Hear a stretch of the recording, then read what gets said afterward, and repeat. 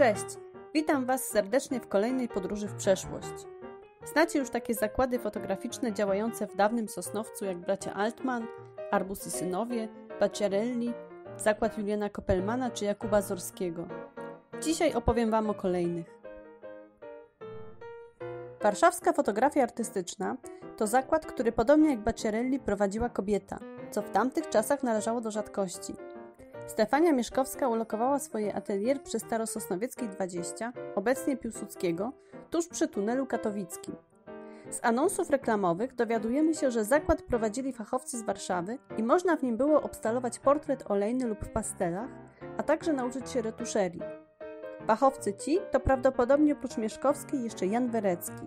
W 1915 roku w Kurierze Zagłębia zamieszczono ogłoszenie, w którym Mieszkowska oświadcza, że pan Werecki już u niej nie pracuje. Podkreśla ona dodatkowo, że zakład w Warszawie pod nazwą Stefania prowadziła wyłącznie ona sama. Sosnowiecka firma z czasem funkcjonuje już tylko pod nazwiskiem właścicielki, o czym informują nas suche pieczęcie na starych zdjęciach. Atelier działało jeszcze w latach 30. Jan Werecki z kolei założył w miejscu dzisiejszej patelni przy ówczesnej głównej 4 obok nieistniejącego już hotelu Victoria własny zakład artystyczno-fotograficzny – Werecki znany jest z wydania w latach dwudziestych około 30 widokówek przedstawiających Sosnowiec.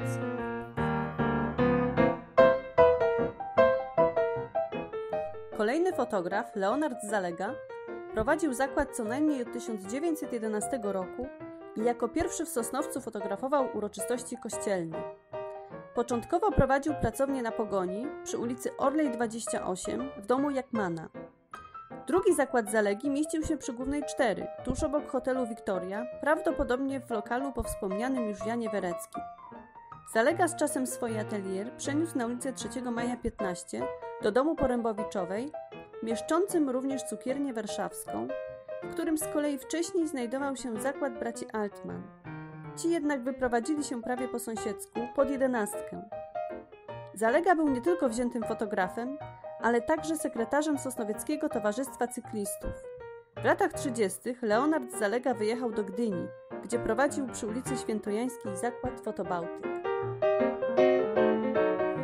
Od lat 20. przy ulicy Orlej 4 na Pogoni funkcjonował zakład fotograficzny Michała Stelmaszczyka. Był to bardzo popularny fotograf, nie tylko na Pogoni. Z czasem zakład został przeniesiony do lokalu przy Żeromskiego 8 i tam działał do końca, a został zlikwidowany zaledwie kilka lat temu. Ostatnim właścicielem rodzinnej firmy był pan Janusz Stelmaszczyk, który przez ponad 50 lat prowadził przejęty po ojcu zakład fotograficzny.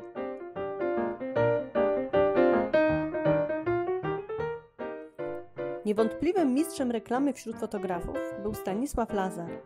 Chyba najbardziej znana jest reklama, na której postać mężczyzny trzyma w ręku swoją własną głowę, gwarantując nią, że z portretów każdy będzie zadowolony. Lazar swój zakład fotograficzno-portretowy założył w 1919 roku.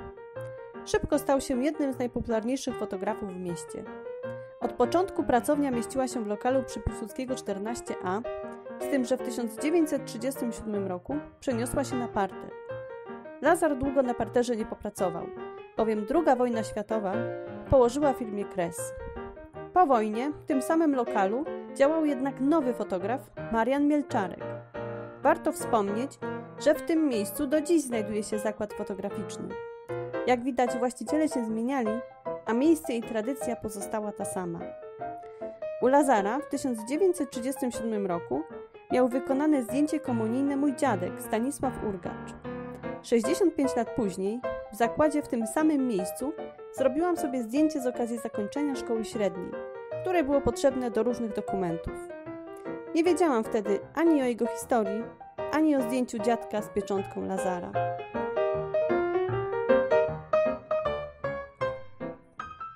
I znów zachęcam Was do przeszukania rodzinnych archiwów. Z pewnością Wy też znajdziecie na zdjęciach Waszych przodków pieczątki zakładów, o których Wam dzisiaj opowiedziałam.